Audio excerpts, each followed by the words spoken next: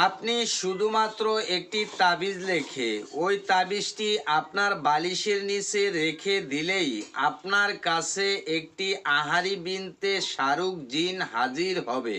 ওই জিনের কাছে আপনি যাই চাবেন, ওই জিন তাই দিতে বাধ্য হবে এবং ওই জিন দ্বারা আপনি যে কোনো কাজ করাতে পারবেন।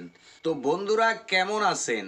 আশা করি মহান আল্লাহ রাবুল আলমিনের অশেষ দয়ায় ও মেহেরবানিতে আপনারা সকলেই ভালো আছেন। আজ আমি আপনাদের মাঝে এমন একটি যন্ত্র বা তাবিজ নিয়ে হাজির হয়েছি। যে যন্ত্র বা তাবিজ প্রয়োগ করে আপনি একটি আহারি বিনতে শাহরুখ জিন হাজির করে ওই জিন দ্বারা যা খুশি তা করাতে পারবেন, যেখানে খুশি সেখানে পাঠাতে পারবেন এবং যা চাইবেন আপনি তাই ওই জিনের কাছে পেয়ে যাবেন। তো অনেক দিন যাবৎ আপনারা অনেকে আমাকে কমেন্ট করে থাকেন যে, গুরুজি, সহজ সরলভাবে জিন পরি হাজির করার কোনো মন্ত্র, যন্ত্র বা তাবিজ থাকলে দিন। তাই আজকে এই যন্ত্রটি আপনাদের মাঝে নিয়ে হাজির হয়েছি। আজকের বলা এই যন্ত্র প্রয়োগ করে আপনি মাত্র সাত দিনের মধ্যে আপনি আপনার ঘরে বসে কাজ করে, একটি জিন হাসিল করে, ওই জিন দ্বারা আপনি যা খুশি তা করাতে পারবেন, যেখানে খুশি সেখানে পাঠাতে পারবেন, যা চাইবেন তাই ওই জিনের কাছে পেয়ে যাবেন। আজকের বলা এই যন্ত্রর মতো এতটা সহজ সরল। আপনি পৃথিবী উল্টে গেলেও কোনো জিনের সাধন আপনারা পাবেন না। শুধুমাত্র আপনাদের রিকোয়েস্টের কারণে। আজকের বলা এই যন্ত্রটি আপনাদের মাঝে নিয়ে হাজির হয়েছি। তবে আপনাদেরকে আমি আগেই একটু সাবধান করে দিচ্ছি। আজকের বলা এই আহারি বিনতে শাহরুখ জিন, বড় বড় নৌকোয়ালা এবং চেহারা বিকৃতির টাইপের। আপনার কাছে এসে যখন আপনার সাথে কথা বলবে, আপনি ভয়ভীতি না পেয়ে তার সাথে কথা বলতে হবে।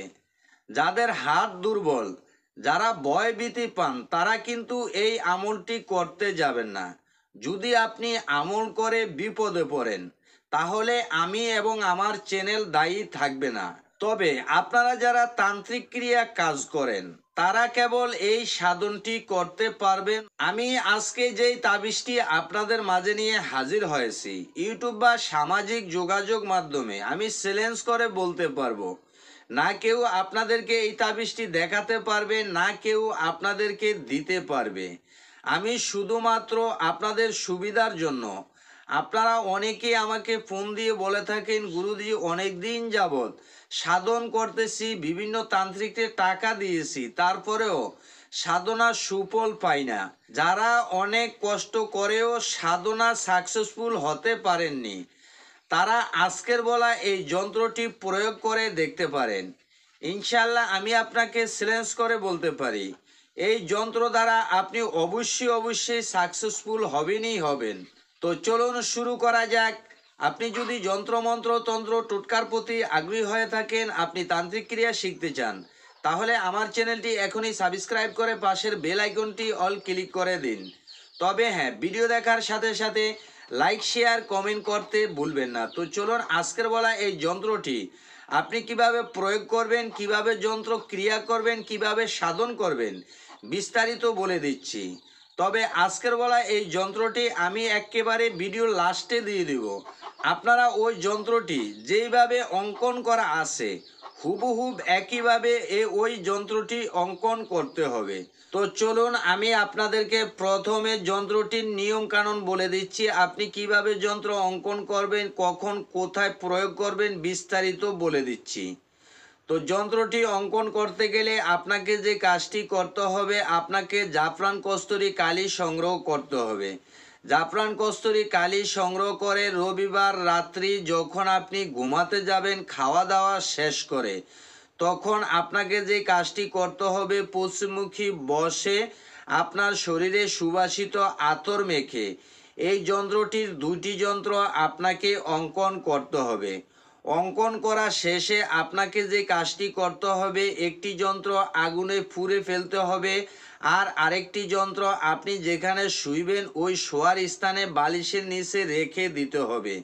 তবে আপনি যেই রুমে শুবেন, ওই রুমে অবশ্যই অবশ্যই একা আপনি শুইতে হবে, অন্য কোনো লোক ওই রুমে শুইতে পারবে না। তো যখনই রবিবার দিন আপনি এইভাবে প্রয়োগ করবেন, সোমবারে আপনাকে আবার পুনরায় একটি যন্ত্র অঙ্কন করতে হবে।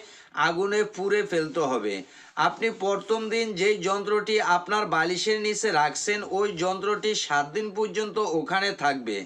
তবে প্রতিদিন একটি করে যন্ত্র নতুন লেখে আপনাকে আগুনে পুড়ে ফেলতে হবে। তো যন্ত্র আপনি বালিশের নিচে রেখে অবশ্যই আপনি ঘুমায়ে যাইতে হবে।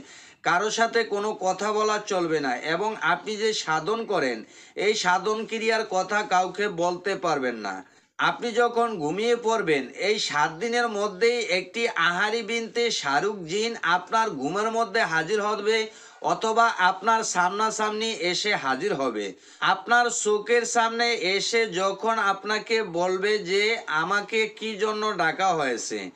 তখন আপনি তিনটি কথা তাকে বলে দেবেন।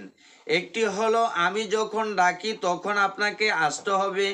আমি যেখানে পাঠাই, সেখানে আপনাকে যাইতে হবে। আমি যা করে দিতে বলি, তাই আপনাকে করে দিতে হবে। ওই তিনটি বসন আপনাকে যখন ওয়াদা করবে, তখন আপনি তাকে ছেড়ে দেবেন। তখন আপনি যখনই তাকে ডাকবেন, তখনই আসবে। আপনি যা করতে বলবেন, তাই সে করে দেবে। তো আশা করছি বলতে পারছেন। আল্লাহ হাফিজ।